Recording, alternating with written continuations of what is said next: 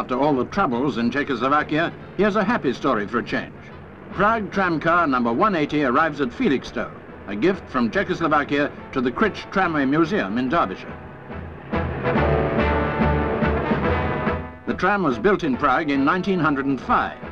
Now it's been lovingly restored to its original condition in the workshop where it was made, a splendid example of vintage engineering. Any more fares, please?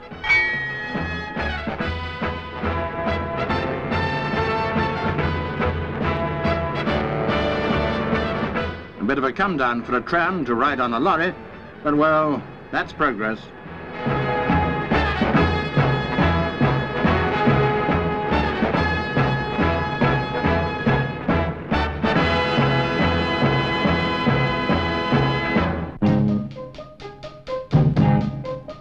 A workshop in present-day